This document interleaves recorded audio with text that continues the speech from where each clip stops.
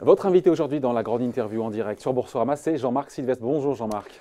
Bonjour David. Merci d'être là avec nous. Bon, vous avez vu, on a un président qui était en, Égypte en déplacement. C'est intéressant parce qu'il euh, s'est exprimé, c'est l'AFP qui relate ça, en disant qu'il euh, tirait des conséquences profondes, des conséquences profondes du grand débat pour, ben voilà, pour répondre aux, tensions sociales en France.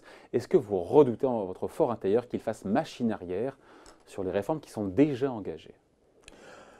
Euh, sur les sur les réformes qui sont déjà engagées, je ne pense pas qu'il puisse faire machine arrière. En revanche, il a, il a un champ d'exploration et un champ d'innovation euh, en matière d'organisation, de structure de, et en matière sociale euh, important, et que le grand débat va lui permettre d'ailleurs de, de, défricher et d'avancer, si on réussit à sortir du grand débat. Parce que la grande inconnue de ce grand débat, c'est que ça va être évidemment la sortie. La première phase, c'est un grand défouloir, c'est assez intéressant d'ailleurs. 300 000 contributions en ligne Non, je crois qu'on en, en, en, a déjà beaucoup sur le site du grand débat. Non, mais ça prouve que c'est de bonne augure, ça, ça, ça, avance très vite et, ça, a même beaucoup de succès dans les municipalités, dans les associations, etc. D'ailleurs, les Gilets jaunes sont en train de monter une application qui est identique avec le même fournisseur, pratiquement, pour créer eux aussi un, grand débat à côté. Donc on pourra peut-être à la fin mixer les deux. Donc le grand défouloir, ça marche, mais, mais, mais ça part quand même un peu dans tous les sens dans un premier temps. Hein, et bon, on ne peut pas, l'empêcher. Pourquoi Pourquoi? Parce qu'on est impacté par, par, par, notre, par notre culture aujourd'hui une demande de justice fiscale. non, non, non, non, Il y a une demande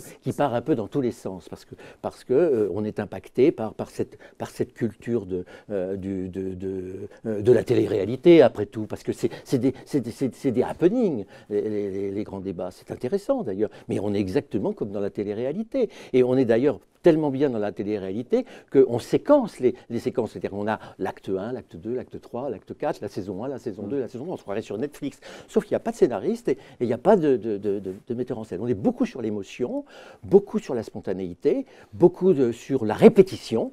Il va falloir que euh, tout ça aboutisse à une pédagogie. C'est vraisemblablement euh, qu'elle va se faire, ou une psychanalyse collective, mais il faudra déboucher sur quelque chose. Et pour déboucher sur quelque chose, il faudra évidemment euh, que, quelqu'un prenne ça, euh, fasse la cohérence entre tout ça, euh, voir ce qui est faisable, ce qui n'est pas faisable, les arbitrages entre le court et, le moyen et long terme, ça, va demander un énorme travail. Et c'est un énorme travail qu'on va avoir du mal à faire parce que ce dont on ne parle pas trop, c'est que dans ces grands débats, on a plus, on, a, on a dégagé les élites, on a décrédibiliser les élites. Et on, sent bien qu'on que préférerait euh, euh, aux élites euh, l'utilisation du référendum d'initiative citoyenne. Mais on ne peut pas tout décider par le référendum d'initiative citoyenne. On ne va pas décider parce que, parce que, parce que l'action politique, l'action gouvernementale, elle a besoin d'expertise, elle a besoin de cohérence, elle a besoin d'analyse. Et de s'inscrire dans la durée aussi. Et hein. de s'inscrire dans la durée.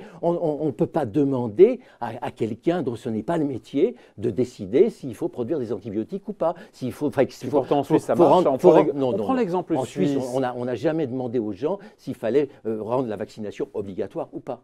Hein, donc, euh, parce qu'il parce qu'il y a un problème de. Bon, il y a des problèmes relativement graves. Vous n'allez pas demander à, un institut, à, votre, femme de ménage, j'ai rien contre la femme de ménage. Vous n'allez pas lui demander si elle est pour ou contre l'Airbus. Est-ce qu'on doit fabriquer un Airbus grande capacité ou pas? Est-ce qu'on doit fabriquer un avion low cost On doit vraiment aller. Mais bien sûr. C'est pas un peu caricatural d'aller jusqu'à ce niveau comme ça de questions.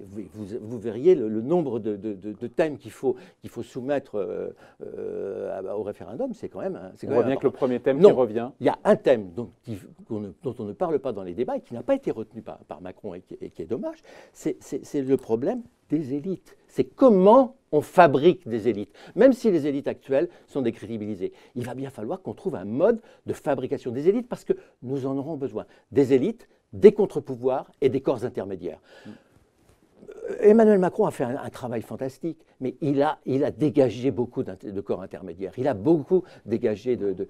Or, il ne peut pas tout faire. Franchement, il ne peut pas aller euh, sur les ronds-points, il ne peut pas aller dans les débats dans toutes les municipalités, et il ne peut pas aller en Égypte euh, pour, euh, pour visiter les pyramides et, éventuellement faire du commerce. il ne peut pas tout faire, c'est pas possible. Il va falloir qu'il ait des corps intermédiaires et que ces, corps intermédiaires vont faire le travail. Peut-être que derrière tout ça, il y y a une réforme structure de décentralisation ou de déconcentration comme jamais on en a connu. Après tout, on est le seul pays en Europe à être centralisé. Hein, les Allemands, ah bah oui, à ce point-là. Tous les autres pays européens sont totalement régionalisés, totalement C'est notre histoire aussi. Hein. Oui, non, oui. Enfin, bah, bah, moi qui suis un peu breton, euh, vous comprenez, la Bretagne, c'est quand même quelque chose d'important. Mais est-ce que, euh, encore une fois, il faudra restituer, il faudra faire une synthèse, il faudra prendre au-delà du grand débat des mesures qui seront annoncées. Mais bien sûr, il euh, on se dit qu'il n'y a pas beaucoup de marge de manœuvre, on est au-delà de la, limite en termes de déficit public, euh, alors qu'il y a des, demandes qui sont nombreuses. On en a parlé hier de la baisse de la TVA sur les produits de première nécessité, euh, des baisses d'impôts, des hausses de dépenses.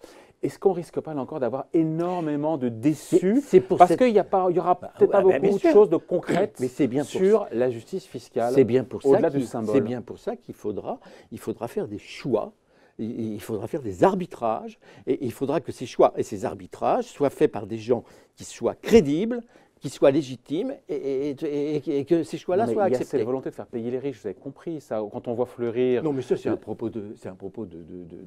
de, non, ce sont les demandes qui sont faites, qu'il y ait plus de justice fiscale. Vous faites payer les gens qui ont de l'argent, évidemment. Vous n'allez pas faire payer les gens qui n'en ont pas ça me paraît évident quand même, non? Oui, mais ça, va, c'est contradictoire avec ce qu'a voulu faire jusqu'à présent le président, qui pour l'instant ne touchera pas, à l'ISF. Mais, le président, il n'a jamais demandé à ce qu'on fasse payer, les, payer, les, pauvres. Le président, il a demandé justement à enrichir les gens de façon à ce qu'ils puissent payer les impôts de façon plus, plus large. Ce n'est pas, son problème. Le, problème du président, c'était de monter un capitalisme euh, libéral un peu à la californienne. Un peu à la californienne. Beaucoup d'innovation, beaucoup, beaucoup, de, beaucoup de redistribution d'actions, beaucoup de bonus, beaucoup de... ça. C'était ça son idée. Mais il n'a toujours pas abandonné cette idée. Et heureusement qu'il n'a pas abandonné cette idée. enfin, la Californie, ce n'est pas non plus l'ensemble des États-Unis. Ça ça peut dire que. Enfin, enfin, enfin, enfin la, Californie a impacté une réforme du capitalisme mondiale très importante, avec beaucoup de dérives, avec beaucoup d'exagérations, mais elle a inventé un nouveau modèle. Sauf le mariage entre l'innovation, le capitalisme populaire, euh, euh, l'économie du partage euh, et puis l'Internet, tout ça a créé un nouveau modèle qui règne sur les, trois quarts de la planète aujourd'hui. Mais encore une fois, il a touché à ce totem de l'ISF. Peut-être qu'il aurait fallu faire des changements, mais en gardant le nom ISF, peut-être ça aussi, qui il devra en contrepartie, évidemment, on voit bien plus une, tranche marginale plus élevée de l'impôt sur le revenu. il va on voit bien les propositions. Il va falloir essayer de comprendre à quoi, à quoi, sert, à quoi a servi l'ISF. Pour, pour l'instant. Il y a un rapport parlementaire qui est prévu pour. Euh, et il va falloir essayer de comprendre euh, si l'ISF a un peu une utilité économique. Je vous suggère de regarder aujourd'hui le bilan des levées de fonds en 2018. Ces levées de fonds ont battu tous les records pour les start-up, pour les entreprises et notamment les petites et les moyennes. 3 milliards 700 millions, à peu près. 3 milliards, le lien entre... 3 milliards 700 millions, ça vous dit rien? Ah, c'est ce, ce que coûte aux finances publiques la transformation de l'ISF en impôt sur la fortune immobilière. C'est la, la, perte de recettes fiscales liées à l'ISF. C'était combien en 2017 Donc, ça veut dire le delta, Jean-Marc voir la différence entre 2007 et 2018. Dans l'absolu, 3 milliards, ça veut si on était à 3 milliards 1, ça, euh. ça, veut dire quoi? Ça veut dire que les gens qui n'ont pas payé l'ISF parce qu'ils ont été exonérés de l'ISF sur les produits financiers, ils ont forcément réinvesti une grande partie de, cet argent dans l'industrie. Pourquoi voulez-vous qu'ils l'ont investi dans quoi? Dans, dans, des œuvres d'art, dans de l'or, dans des, dans des voitures de course? Enfin, Vous redoutez pas quand même, quand même, beaucoup de frustration au terme du débat quand il faudra annoncer et beaucoup risquent de se sentir un peu floués parce qu'il n'y a pas les marges de manœuvre. Bah, bien sûr qu'il n'y a pas les marges de manœuvre, mais on ne les a jamais eues. Et puis on ne les a jamais en économie. L'économie, euh, c'est la science de la rareté. Donc il faut bien partager la rareté. Hein. Si, si, on était dans une économie d'abondance, il n'y aurait plus d'économistes et il n'y aurait même plus euh, de problème. On n'est pas dans une économie d'abondance. Non. Voilà. Donc il euh, faut, faut, faut, faut, partager la rareté. Il faut que cette rareté soit acceptée, que le partage soit accepté et que chacun y trouve tout avantage. Mais on peut être intelligent aussi dans le partage de la rareté. Regardez ce qu'on a fait par exemple pour débloquer le système de la retraite. Faire du volontariat sur la retraite avec un bonus pour allonger. C'est intelligent, c'est pas, ça, ça va passer. Oh, c'est une façon de repousser euh, sans dire, ben sans oui, que ce soit légal. C'est une façon de, départ, de, euh, repousser l'âge de départ à la retraite, de faire profiter ceux qui, qui, veulent en bénéficier. Voilà. Donc c'est ce qui fonctionne aussi pour les, sur les retraites complémentaires. c'est ce qui a été voté par les syndicats, accepté. Mais, bien sûr, non, mais c'est pour sortir d'un peu d'hypocrisie. Quoi. Mais, oui, mais, mais c'est pas d'hypocrisie, c'est de, de l'habileté. Non, mais ce qui on n'est pas obligé de provoquer des gens. Ce qui est passé en 2015 tranquillement dans les négociations entre les partenaires sociaux, aujourd'hui pourrait aussi passer pour les retraites simple et bien pas complémentaire. Sûr, bien sûr, mais quand on, va, quand on va réduire les effectifs dans la fonction publique, est-ce que l'idée du volontariat et du départ volontaire, c'est pas forcément une, une, mauvaise idée. Moi, je pense qu'elle aura beaucoup de succès chez les fonctionnaires. Allez, autre sujet, Jean-Marc, dans l'actualité. Euh, on verra ça, si ça s'avance un petit peu là. Bah. Euh, on a vu Bruno Le Maire sur France Inter qui a confirmé euh, qu'il allait, suite d'ailleurs au discours du président Macron en fin d'année, confirmer qu'il allait obliger les patrons, les grands patrons, des grosses boîtes françaises, à payer leurs impôts en France. Euh, on sent bien que l'affaire Carlos Ghosn est passée par là. C'est Libé qui révélait qu'il euh, était manifestement Carlos Ghosn résident fiscal aux Pays-Bas depuis 2012. Il faut empêcher que d'autres cas comme ça puissent se reproduire. rien avant et après Carlos Ghosn? C'est évident, c'est évident. Euh, ça vous choque quand même, j'espère ça. Pas du tout, pas du tout. L'assignation fiscale, pas du tout. Les Américains le font et, ils s'en portent très bien. Non, mais qu'un patron français d'une boîte cotée en France, qui a le siège social en France, paye ses impôts ailleurs qu'en France, ça ne vous dérange pas? Ça me dérange dans la mesure où il déplace un certain nombre. Si, si déplace des revenus euh, produits en France pour les faire imposer à l'extérieur, euh, oui, ça me dérange. Ça, ça. Mais en revanche, s'il se fait imposer sur, sur, sur, sur des droits et sur, sur un travail fait à l'extérieur, non. Ça va, ça va se négocier. On joue, sur les mots, hein. Jean-Marc. Le salaire d'un patron d'une grande boîte cotée en France, ayant le siège social en France, nous dit Bruno Le Maire, doit, être, bah, doit payer ses impôts. Mais il a raison, mais il, faut raison. le non, non, pas du tout. Le salaire d'un patron français généré sur l'hexagone français et sur le marché français doit être payé en France.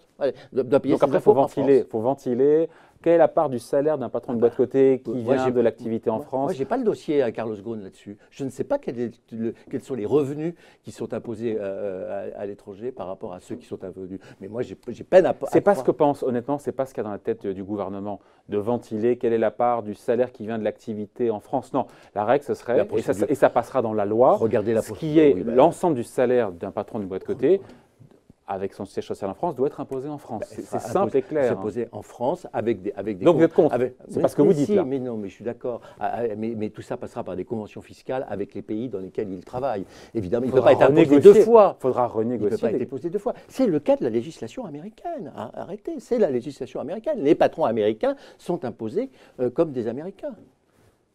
Et donc, parce que, euh, encore une fois, euh, le risque, certains disent qu'avec cette idée de contraindre euh, les, patrons, mais aussi les directeurs généraux, et même ça va au-delà du patron, enfin, du, président, dont, encore une fois, le siège social est en France, ça vient payer leurs impôts en France, certains disent que c'est prendre le risque, justement, de voir les sièges sociaux des grands groupes, des grandes multinationales quitter la France. Bien sûr, ce sera un risque. Mais la seule, la seule remède... Je pensais que vous me sortiez automatiquement ce chiffon rouge. Pas du tout. Pas du tout. Mais le, seul remède pour éviter euh, cet exil euh, fiscal, c'est la, la, baisse du taux marginal de, de, l'imposition.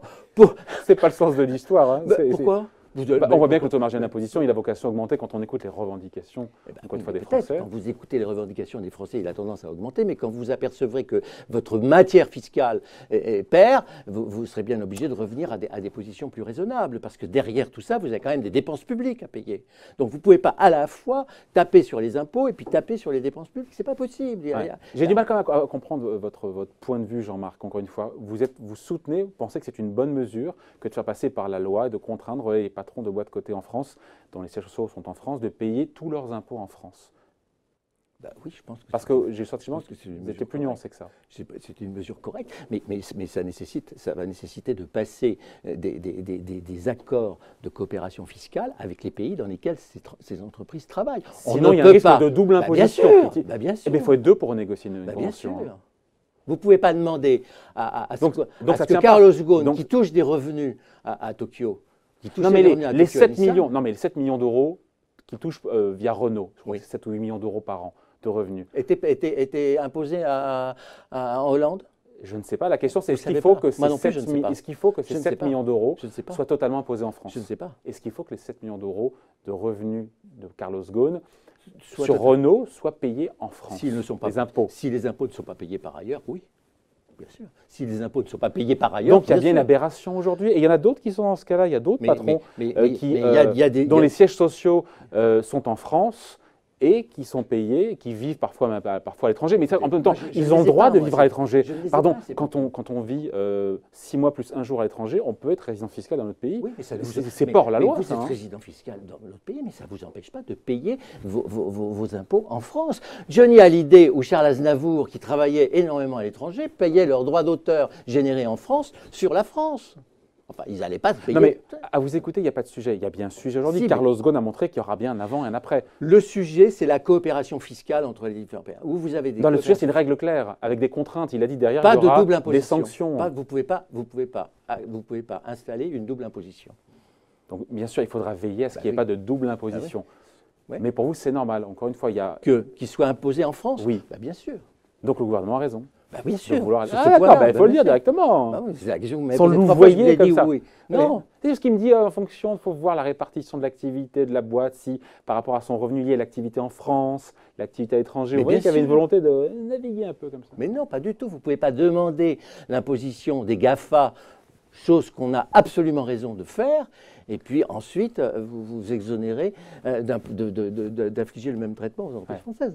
J'ai oublié, on va finir là-dessus, j'ai oublié une question juste sur, euh, sur la, taxe d'habitation, il a été clair, le président Emmanuel Macron, il a dit que ce sera bien supprimé pour tout le monde. On avait un doute que les 20% des Français les plus riches, 7 millions de Français, se voient sucrer la suppression de la taxe d'habitation. Il a dit que ça sera supprimé pour tous les Français. Sauf pour les résidences secondaires. Oui, évidemment, ah bah. certes. Oui, évidemment. Oui, je trouve ça bien qu'il aille au bout de sa logique. Qu'il aille, jusqu'au bout, oui, bien sûr. Ah, ça coûte 10 milliards de plus. Hein. Parce que comment eh, on n'a pas les marges de manœuvre, ça coûte 10 milliards de plus. vous savez très bien que le, débat, il s'ouvrira sur euh, qu'est-ce qu'un riche, qu'est-ce qu'un pas riche, est-ce que, est que quelqu'un a le droit d'être exonéré ou est-ce que... C'est quoi un riche alors? J'en sais rien. Pour François Hollande, c'était 4 000 euros par mois, c'est ça et Jean-Marc Daniel nous disait, on finit là-dessus, qu'un riche, c'est celui qui gagne plus que soi, évidemment. Bah, évidemment, classique. Comme ça.